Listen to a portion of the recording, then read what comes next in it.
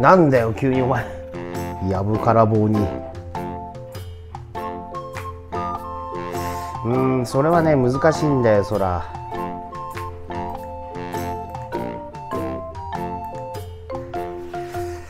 そうだな。まあ簡単に言うと死は存在の無だよ。そうだよ。死んだらこう、うん、なくなっちゃうからだから無、うん、でもね死で存在は終わらないんだよ。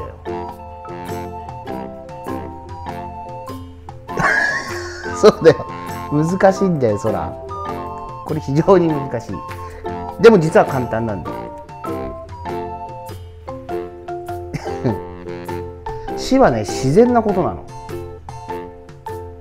うん、だから怖がることでも怯えることでもない。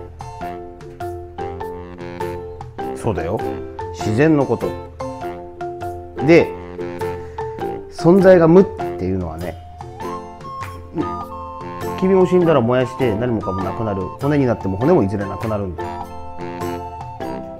俺もそうだよ。動物みんなそう。ね。それでじゃあなんで死で存在は終わらないかっていうとうん。君が死んじゃった場合にまあねうん俺の頭の中には君がいた存在っていうのがねずっと残り続けるんだ。よだから終わらないってこと。うん。まあもちろん俺が先に死んじゃう時だったらそしたら君が残るんだけど君のこの中にはパパのねことがずっとある。だお前の存在はなくなるけど君がいる限りは俺の存在は終わらないんだよ。すごくシンプルなんだ実は。だからこのシンプルだけどここでうんいろいろねうん解釈のズレが出たり考えのズレが出たりしてうん気持ちがナイーブになったりね。そうだやっぱ存在がなくなっちゃういなくなっちゃうねことはやっぱり辛いからね。でも頭の中には存在が残り続けて終わらない。でこれがね難しいんだよ。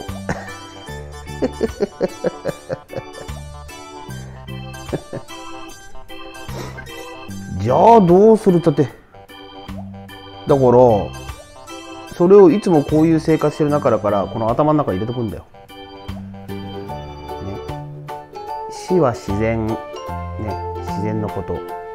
で死は存在の無、うん、でも死で存在は終わらない。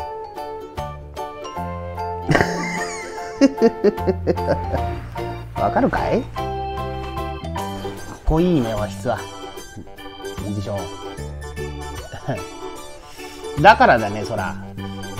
うん今君こう言って一緒に生活してて幸せだろ？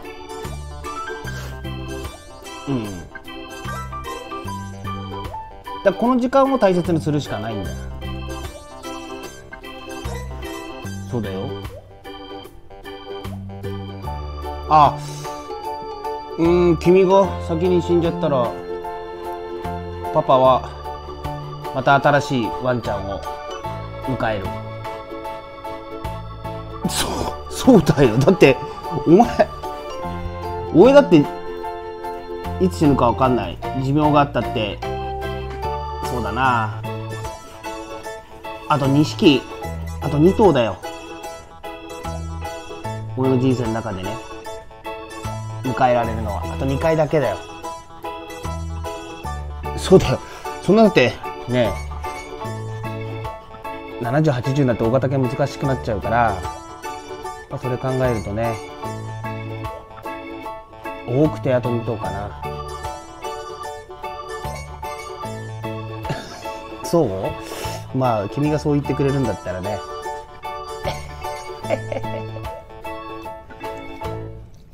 君との出会いも、たまたま。たまたま。ね。で次の子たちもまたたまたま何かのタイミングで。来れればこういう生活送れるでしょ。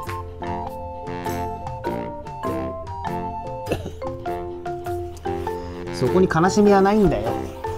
だってこれしょうがないんだよ、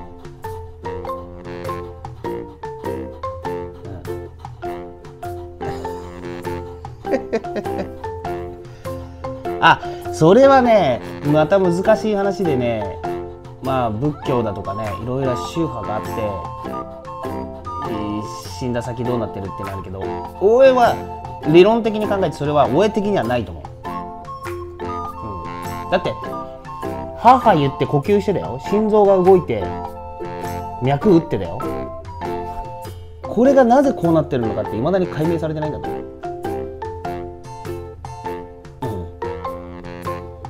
生きてるって動物が生きてるってことがね解明されてない。そうだよ。なのにその先があってどうこうってことはないでしょ。無理。だ今なの。今。だからお前あれだぞ。これだってね病気交通事故ね何から死んじゃう可能性だってある。お前より先に。そうだよ。そしたらおここ。パパの存在は残るんだ。でもそれに悲しんじゃダメだよ。うん。悲しいんだってそこに存在はないんだからもう。存在の無。この中で残ってるだけ終わらないだけ。それに悲しんでもしょうがない。分かった？